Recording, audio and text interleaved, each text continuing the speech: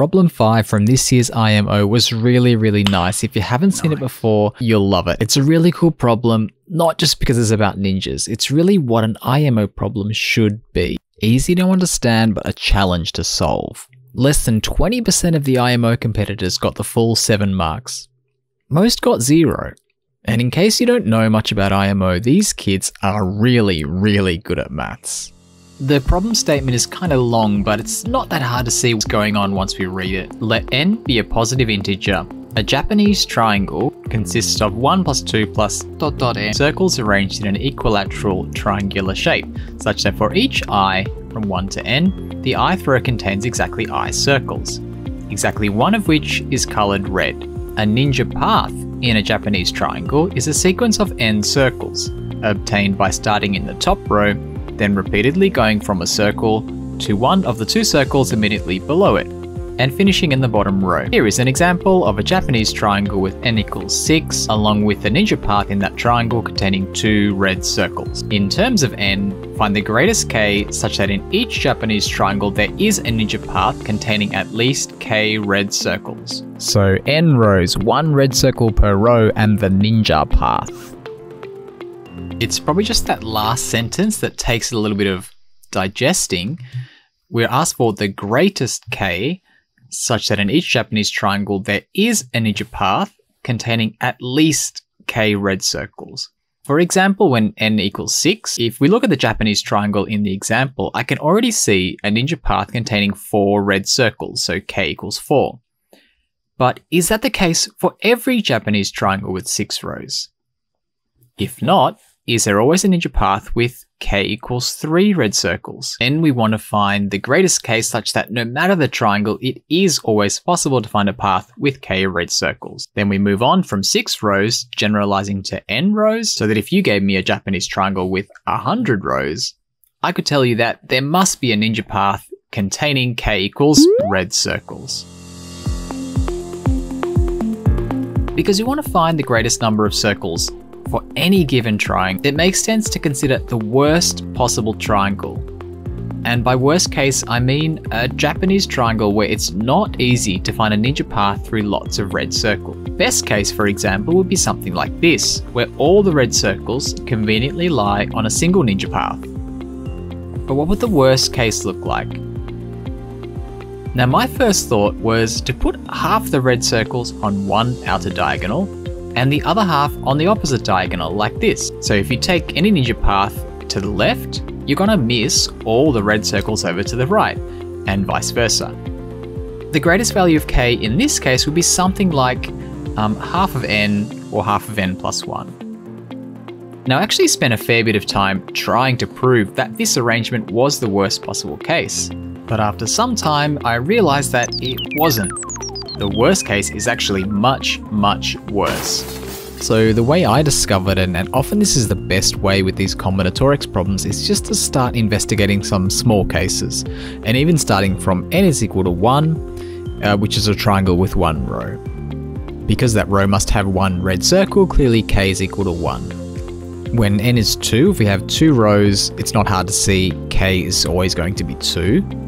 If n is 3, then using this arrangement, we can see that k is still going to be 2, okay? We can prevent a ninja path with 3 circles. So the greatest k for all triangles is going to be k equals 2. Um, but that's the actual only arrangement that would give k equals 2, or its reflection. So when we go to n equals 4, it's always going to be possible to have a path going through 3 circles. Building on that worst case arrangement with 3 rows, no matter where I put a red circle in the fourth row, you're always going to have a path going through three red circles. Building up to n equals 5, I can keep k to 3 by placing a red circle uh, here using my original strategy of placing on the outside diagonals, but that's not going to work for n equals 6. Because we can see this triangle would have a path with 4 red circles, but here I can limit k to 3. And that helps to see how we can really build up the worst case triangle. It's just by putting the next red circle just out of reach of the previous one. So continuing to the seventh row, what we have now is that any ninja path could only pass through one red circle from each of these rows from 4 to 7. And then starting again in row 8, going all the way down to row 15, any ninja path could only pass through exactly one of those red circles. In general, using this arrangement, we can restrict any ninja path to only pass through one red circle from rows 2 to the m to 2 to the m plus 1 minus 1. And this means that our solution, uh, the greatest number of red circles, k, that must exist on a ninja path, depends entirely on the largest power of 2 less than n. If we let uh, 2 to the m be the largest power of 2 less than n, then our greatest value of k is equal to m plus 1. Okay, we have plus 1 because the red circle in the top row, which is um, the 2 to the 0th row, counts on our ninja path. We want to express this as a function of n, so using a base 2 log, we have um, the floor of the log base 2 of n plus 1. So for me, seeing that log base 2 event in the result was quite surprising. Uh, quite nice, but quite surprising. I'm not sure what you think, if that's what you predicted or not. So if you did give me a ninja triangle with 100 rows, uh, I could find you a ninja path with 7 red triangles. Not a lot, is it? But with that construction, we're able to limit uh, one red circle per each power of two. But this is an Olympiad problem and I should prove this construction really is the worst case and that all Japanese triangles do in fact have a ninja path with k equals this many red triangles. So I'm going to use a proof by induction on m where m, uh, so 2 to the m is the largest power of 2 less than the number of rows n. And the statement I'm going to prove by induction is that the worst case Japanese triangle uh, with 2m minus 1 rows, that is the triangle that minimizes the greatest number of red circles k, must have ninja paths with m red circles ending at every circle uh, in the 2m minus 1th row. And I know that might seem a bit random, like where did this come from? So this is where it came from. If we have a look at this diagram, where the number in each circle represents the the greatest number of red circles on a ninja path leading to that circle. So there are ninja paths with two red circles ending at all the circles in the third row, and ninja paths with three red circles ending at all circles in the seventh row, which makes it easy to get four red circles in the eighth row because I just put a red circle anywhere and bang, there we are. So that's the idea of this statement that we're trying to prove. If we start with the base case when m is 1, well, that will give us the first row, which does have one red triangle, so that's good. The assumption is, say, for m equals p, then for m equals p plus 1, uh, we must prove that there must be ninja paths with p plus 1 red circles in every circle in the last row, which are the two p plus 1th minus 1th row. So it's the next power of 2.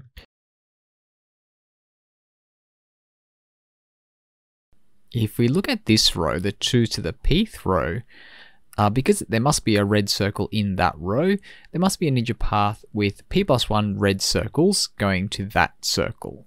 And below this circle, we, we cannot use any of the circles in that equilateral triangle. Because we're trying to minimize the number of red circles on any ninja path, we don't want to put any red circles in this equilateral triangle.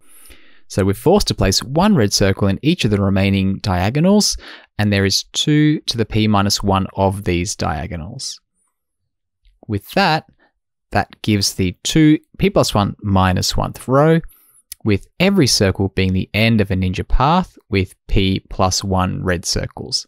So that is the uh, proof by induction that in fact the worst case Japanese triangle with 2 to the m minus 1 rows must have ninja paths with m red circles ending at every circle in the 2 to the m minus 1th row.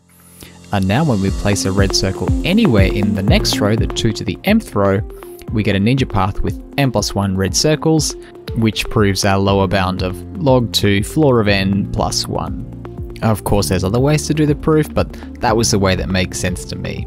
Nice problem, right?